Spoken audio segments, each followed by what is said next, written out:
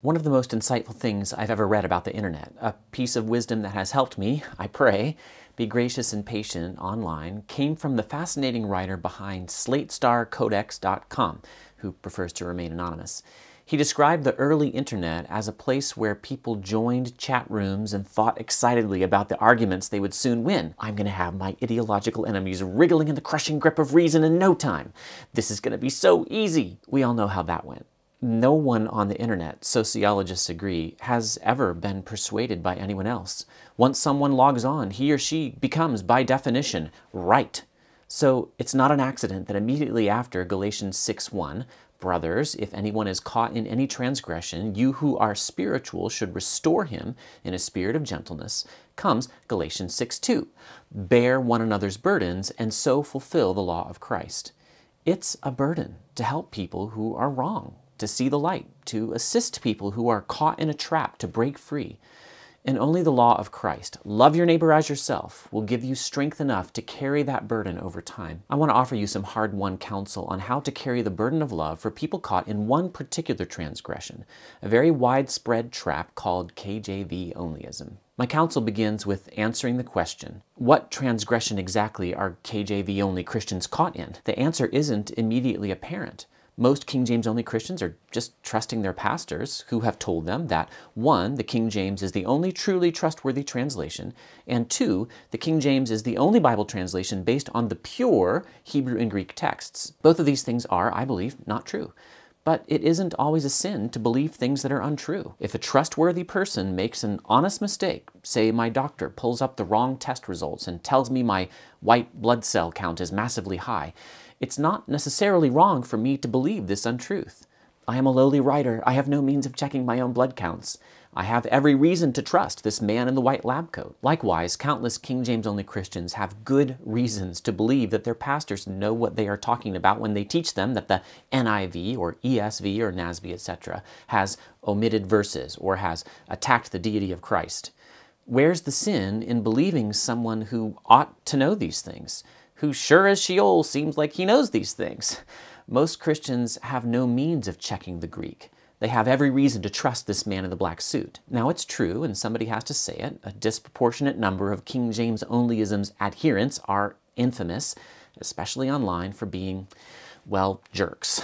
King James onlyists are frequently banned from Christian Facebook groups in a way that credo Baptists or historic premillennialists or Lego aficionados just aren't malice, 1 Peter 2 1, and contention, Galatians 5.20, are sins that many King James defenders need to be lovingly rescued from.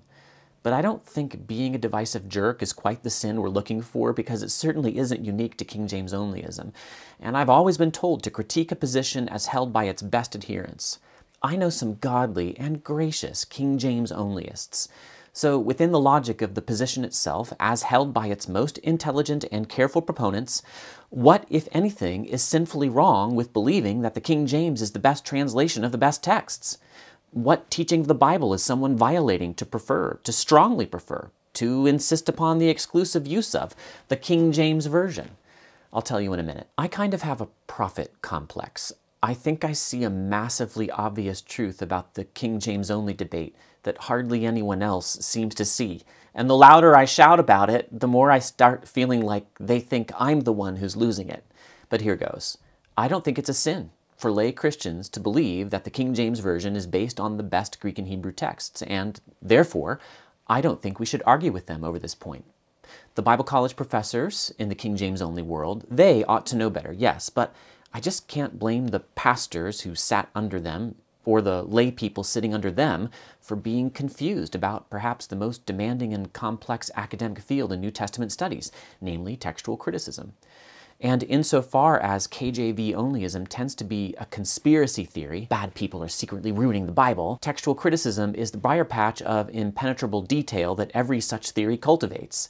There's just no way people ignorant of Greek are going to get argued out of that briar patch by appeals to manuscript evidence. They don't take their view because of evidence, and you might not either. They take it on authority. Telling them they're wrong means telling them to distrust their pastor. Hence my counsel that we all pretty much drop it. Do not get drawn into talking about textual criticism with King James only Christians. If you're not persuaded, I remind you that I am on the internet right now. So what do we talk about with our King James only brothers and sisters?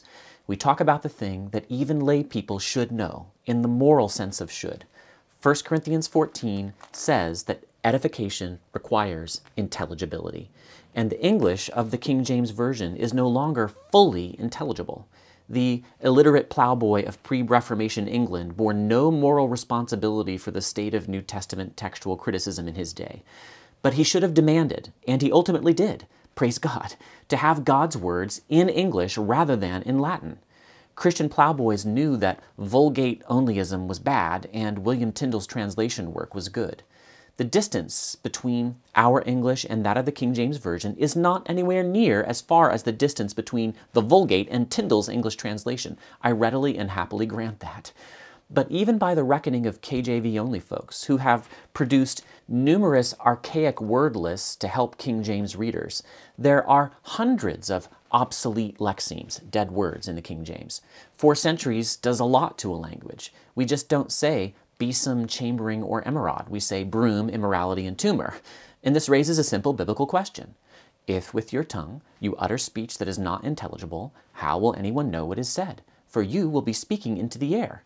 1 Corinthians 14 9 ESV. Remember, we're not objecting to hard concepts included in the Bible. Mandrakes are things we don't have. Selahs and Sheols are things we're not sure we understand. Even behold is something we just don't say in our language.